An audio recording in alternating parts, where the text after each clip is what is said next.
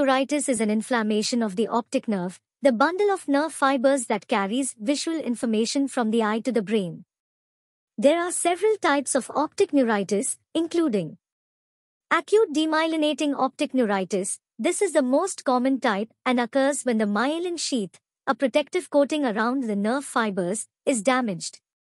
Recurrent optic neuritis. This occurs when an individual has multiple episodes of optic neuritis. Ischemic optic neuritis. This occurs due to a lack of blood flow to the optic nerve. Clinical features of optic neuritis include sudden or gradual loss of vision, usually in one eye, and often accompanied by pain with eye movement. Other symptoms can include color vision changes, visual field loss, and eye redness.